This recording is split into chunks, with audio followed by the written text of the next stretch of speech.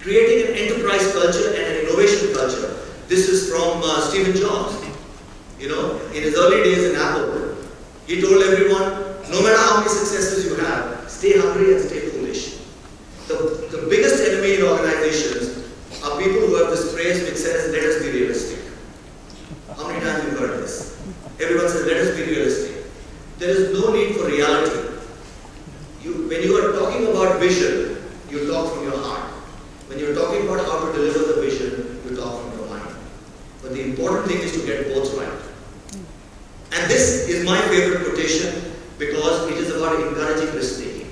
You don't achieve if you don't risk. And the ability to make your people go to the edge. Because as this, as this wonderful saying, I think it's from Kurt Vonnegut says, that if you don't go to the edge, you won't see the kind of things that are there, and you will never see it from the center of the playing field. And uh, lastly, and very importantly, I, have used a quotation from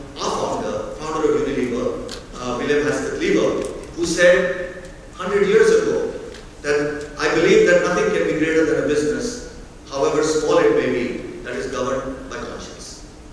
And I think this is really, really, really important. Because if you have to operate in 150 countries across the world, you must carry one single DNA. And that single DNA is always